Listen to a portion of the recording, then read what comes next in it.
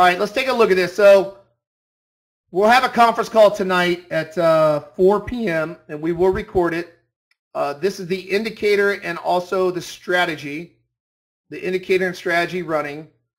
The indicator by itself will fire green arrows below price when a potential momentum buy, this is the momentum strategy, momentum indicator that we have. And So a red arrow will fire if there's momentum to the downside and a green arrow will fire if there's momentum to the upside. So these arrows are dictated by the oscillator below. And very simply, the oscillator below, I have what's called a bear line and a bull line. A bear line is the red line. Anything oscillator below the red bear line is bearish. We're looking for shorts. Anything above the bull line, anything above the green bull line is longs. So if I'm if my trend filter is up now as far as this momentum strategy, we have a strategy that is built with the indicator. If the if the moving averages are up, the fast moving average is in white, the slow moving average is in magenta. If the white is above magenta, then we are in an uptrend. If the white is below the magenta, we're in a downtrend. This is preset on your strategy. So if we're moving up, then what the strategy will do, the version you have, it will look for, I have it toggled in now to only look for shallow retracements. So here it went long on a shallow retracement, which is called a tweezer trade here. And it went short here on a tweezer trade here. But the version you guys are all going to be getting, this is the version you have now, this current version is exactly, this trade took short, this exact trade that took long on a 120.20, 10 days back. All right. This version also is using a target 1 of 12 ticks, a target 2 of 24 ticks, a target 3 of 36 ticks, a target 4 of 48 ticks. You can change that to 1,000 ticks on target 4 if you want. I got a stop that I'm showing you right now of 26 ticks. All right. I got a start time at 1.30 a.m. in the morning, a stop time at 4 o'clock Eastern Standard Time. All my ATRs are selected to 30 that I'm showing you on this video right now. My trend is checked with a move, uh, MA fast length of 20 and a slow length of 110. Everything is else unchecked. My retracement strength is zero. So if my retracement strength is set to zero, then this strategy is only going to look for tweezers. Tweezers are small retracements in the market. That's the smallest retracement you can get. That's why it's zero. That is a tweezer is a back-to-back um, small retracement, which is a tweeze right here. Tweezer over here. That's why the strategy went short and went long. So if I take the strategy off, and I toggle that off. You know, right now the strategy I got running, I just did it right there. So when you run the strategy, you can run it on sim. So this last trade was what, a $1,500 trade. Just this last one, I'm running a sim for you guys here this morning. Um, I didn't have it running here, so this morning total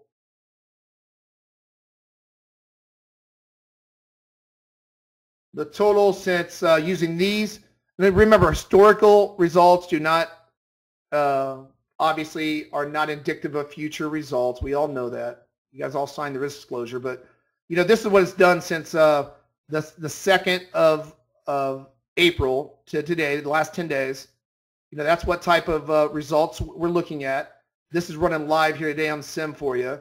Um, so if you look since today, which is the 12th, it hasn't calculated this morning's trade yet, but th that's how you can look at the results that we're getting so far from, from this. So you can take the strategy off though and just run the indicator. If I toggle the strategy off, then these arrows will fire. Now this arrow will fire here on the upgraded version you get to because it's below your number. So the arrow fires there. So why do these arrows fire where they're firing and why does the strategy get in where these are at? What I've done with the strategy, okay, is that I'm allowing the traders to dictate what momentum that they want at what level they want to when these arrows fire. In other words, I have a bull bear line below here. So you can put in the exact level you want to put in. I have 40 here as my bear, on uh, my bull. Anything above 40 in the oscillator is bullish on a pullback. Anything below 65 is bearish on a pullback.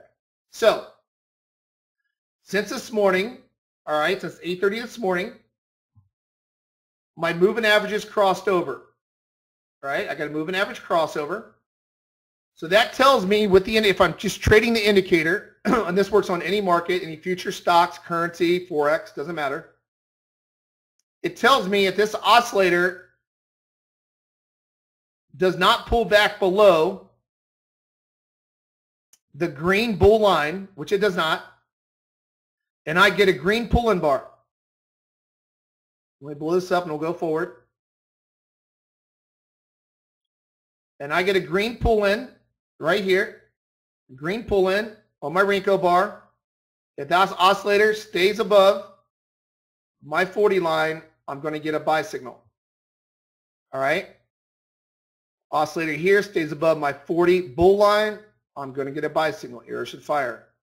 Oscillator stays above 40 on the pullback. When I get a green pull in, should get a pullback. I mean, a arrow should fire. Oscillator goes below my 40. That means momentum has dissipated on this pullback. This is a deeper pullback. I will not get an arrow. Then once again, the fast is below the slow again.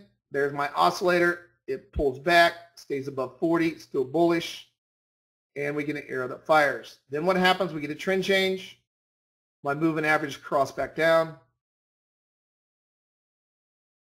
Now I'm looking for bear pullbacks, not bull. My bear line, which is at 65, it says if my oscillator stays below 65 and I get a red bar that prints showing that it's a lower close and open, then you have an arrow that fires there. Now in this pullback, the pullback's too deep before the red arrow fire, or before the red uh, bar prints, a lower close and open. The oscillator is above my bear reading, so that's a deep pullback. You will not get an arrow. The strategy will not fire either. Then we come down, we get a pullback. It's below my bear reading. My bear reading is 65. And I get a tweezer here, and then you get an arrow that fires. So you can tell if I skinny this down, Will it take a trade here? Will an arrow fire here? No. Why? The oscillator is above my bear reading. It went above. That means this will be an, what's called an FZR trade. So these are full zone retracement trades on my indicator in the room. That's an FZR. That's full zone retracements in my zone. That's an FZR. And then this is an FZR. And then all these other ones are momentum, momentum, momentum, momentum, momentum, momentum. All right? So if I turn on the strategy, because the strategy, I have it taking, this is a retracement strength of zero. So the version you have currently, if you set it to zero, the retracement strength, it's only going to look for shallow retracements here. It's only going to take these trades here here, here, and here. If you set to zero. The updated version you got, all members are going to get, so that these are the trades it took this morning. It's the version, you, the exact version you have. You toggle this on. That's a trades, right? I got 12, 24, uh, 36, 48 target. There's my trailing ATR. If you want to trade this to 1,000, you can. Watch. Let's say I want to get the whole the move that's larger.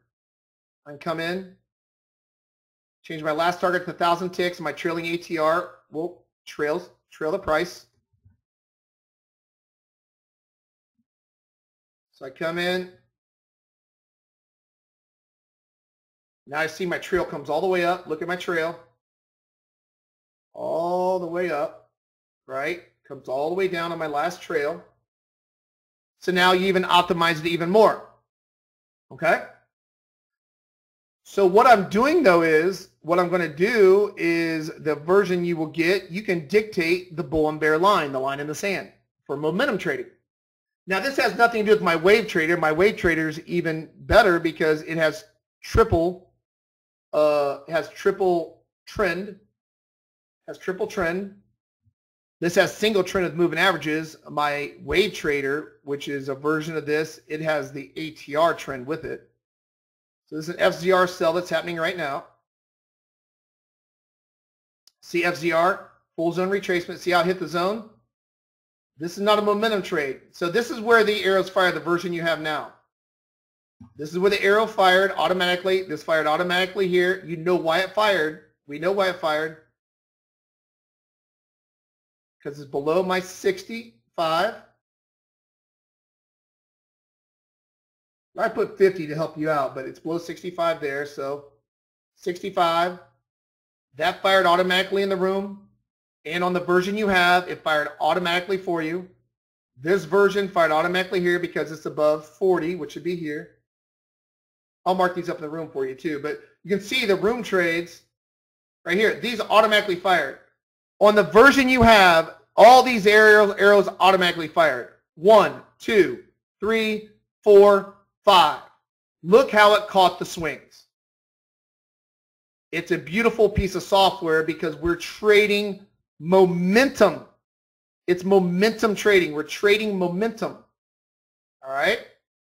Now, if the momentum dissipates and our oscillator gets above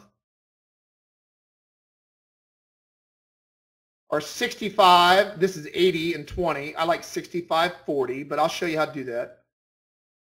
If it comes to the zone, that's a sell. You can sell with the first lower close and open. You can sell the FZR right there if you wanted to. But these arrows automatically fire. The software you have does not fire the FZR trades.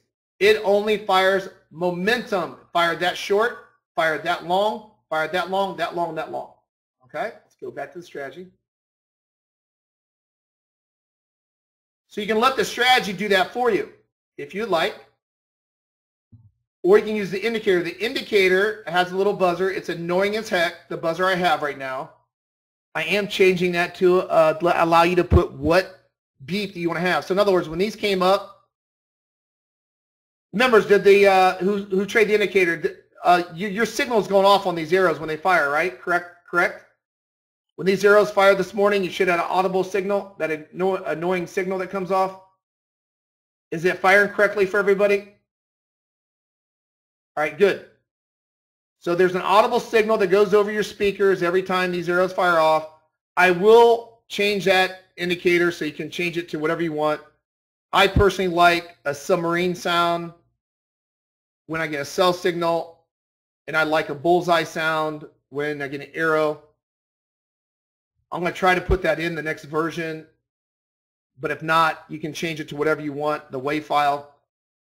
But I like that. I like the bullseye for buys and a submarine uh, going down sells for, um, that's how I had on strategy runner. I thought it was pretty cool. If I get a short signal, submarine sound, bullseye, if I get that. So, uh, Uh, but you guys can, I'll have a WAV file. You can put in whatever WAV file you want in there when these fire. So these, the version that is out and released to everybody, all members, you should have all these arrows that fire exactly at these levels. Exactly. Okay? The strategy, exact version you have. You should have these exact trades that came up on the tweezers. Exactly. This morning.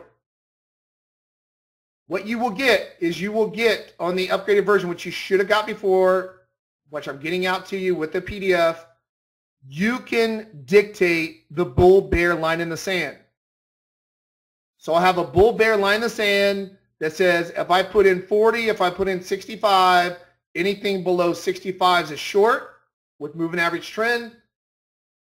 Or you can have the moving average oscillator off and it'll take all trades, counter and with trend. And anything above 40 is a bull buy and these arrows will fire on the indicator and oscillator.